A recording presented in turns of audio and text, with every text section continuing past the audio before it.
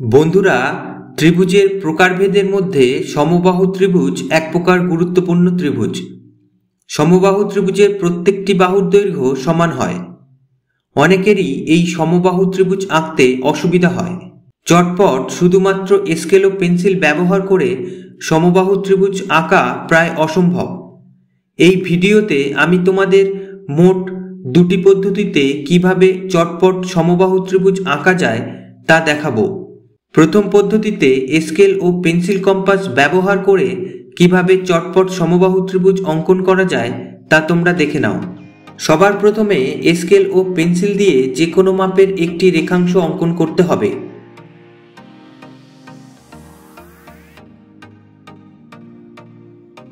এখন পেন্সিল কম্পাসের সাহায্যে রেখাংশটির সমান মাপের ব্যাসার্ধ নিয়ে রেখাংশটির যে কোনো একটি প্রান্তবিন্দুতে পেন্সিল কম্পাসের কাঁটা বসিয়ে একটি বৃত্তচাপ অঙ্কন করতে হবে।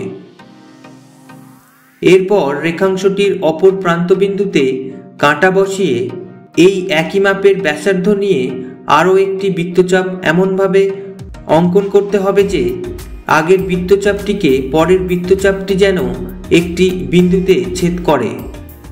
এরপর ছেদবিন্দুকে স্পষ্ট করে নিয়ে বৃত্তচাপের দাগগুলিকে ইরেজার দিয়ে মুছে ফেলতে হবে।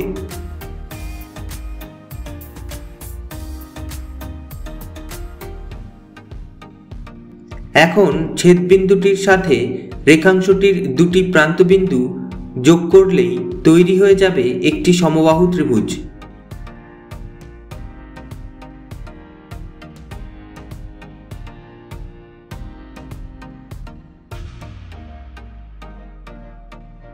প্রয়োজনে স্কেল দিয়ে অথবা কাঁটা কম্পাসের সাহায্যে উৎপন্ন ত্রিভুজের বাহুগুলি সমান হয়েছে কিনা মেপে দেখতে হবে এবং নিশ্চিত হতে হবে।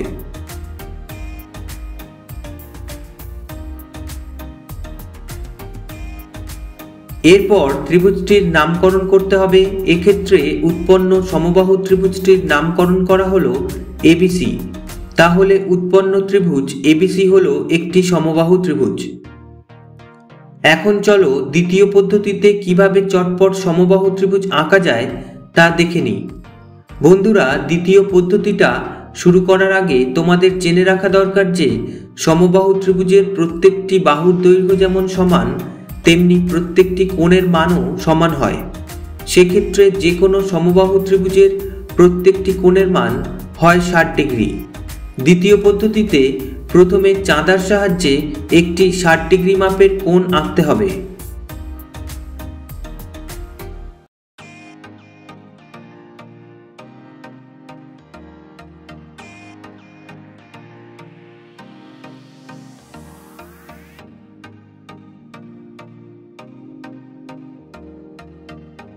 এরপর কোণটির যে কোনো একটি বাহুর বহিপ্রান্ত বিন্দুতে চাঁদার সাহায্যে আরও একটি ষাট ডিগ্রি মাপের কোণ অঙ্কন করতে হবে।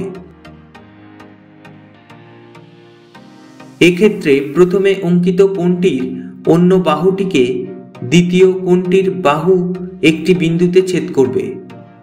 ছেদ বিন্দুটিকে স্পষ্ট করে নিয়ে রেখাংশ দুটির বাড়তি অংশ ইরেজার দিয়ে মুছে ফেললেই তৈরি হয়ে যাবে একটি সমবাহু ত্রিভুজ।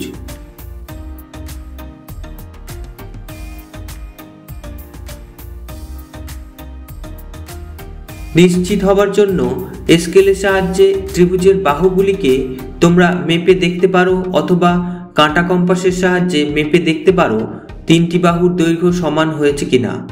এখন ত্রিভুজের নামকরণ করতে হবে।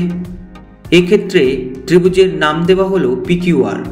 তাহলে ত্রিভুজ পিকিউআর হলো একটি সমবাহু ত্রিভুজ। বন্ধুরা, তাহলে এইভাবে চটপট তোমরা সমবাহু ত্রিভুজ আঁকতে পারো। আমি এখানে দুই রকম পদ্ধতি দেখালাম। তোমাদের ভিন্ন কোনো পদ্ধতি জানা থাকলে কমেন্ট করে জানাতে পারো। আর ভিডিওটা কেমন লাগল তা অবশ্যই জানিও। চ্যানেলটাকে প্লিজ সাবস্ক্রাইব করো, কারণ এই রকম আরও অনেক ভিডিও ভবিষ্যতে তোমরা পাবে। এতক্ষণ ভিডিওতে সাথে থাকার জন্য ধন্যবাদ।